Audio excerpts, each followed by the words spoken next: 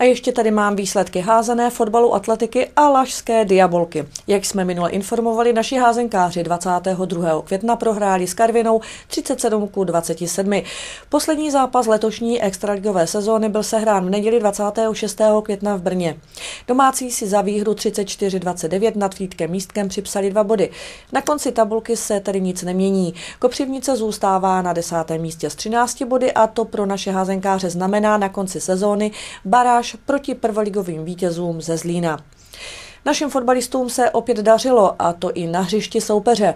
Ve 23. kole si připsali vítězství nad Jeseníkem, nad Odrou konečný stav 2-3, přinesl tři cené body a naši hráči tak posilují svou pozici v tabulce. Se 40 body se drží na druhém místě. Tým Jakubčovic zatím stále zaostává za Kopřivnicí o dva body, protože v posledním zápase porazil Mniší Vlčovice 0-1. Naši fotbalisté se hrají další zápas doma, a to 1. června proti Veřovicím, které se drží na špici tabulky první B třídy mužů. 33. ročník má za sebou štramberská desítka.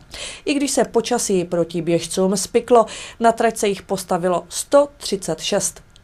V sobotu 25.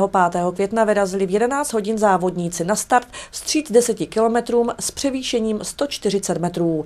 První doběhl Václav Bytala, druhý Jakub Ambros, oba z atletického klubu Emila Zátopka a třetí Jana Zemaník. Mezi ženami byla nejrychlejší Adéla Ezentierová a na druhém místě doběhla Kristina Čablová, reprezentující náš atletický klub. V kategorii žen G vyhrála Danuše Škrdlová. Mezi muži v kategorii B zvítězil Marek Škapa, v C Petr Škrabánek, v D Miroslav Kravčík a v nejstarší kategorii E byl první kopřivnický Pavol Fogaš. Pořadatelský atletický klub Emila Zátopka připravil navíc i čtvrtý ročník běhu dětí Národním sadem. Na starce postavilo 160 mladých běžců.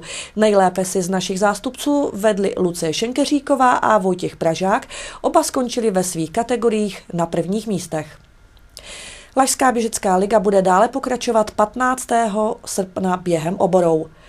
Sportovní střelecký klub Kopřivnice pořádal po několika letech ve Frenštátě pod Radhoštěm Lažskou diabolku.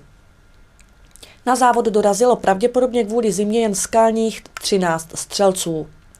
Závodilo se v libovolné malorážce 60 ran ve dvou kategoriích. Mezi muži juniory zvítězil domácí Marek Meca ve svém osobním rekordu 527 bodů. V kategorii dorost zvítězil s 515 body Filip Sendler z Hradce nad Moravicí. A na závěr ještě dvě pozvánky.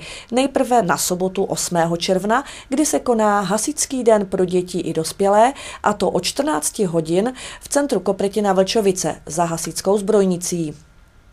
A v neděli 9.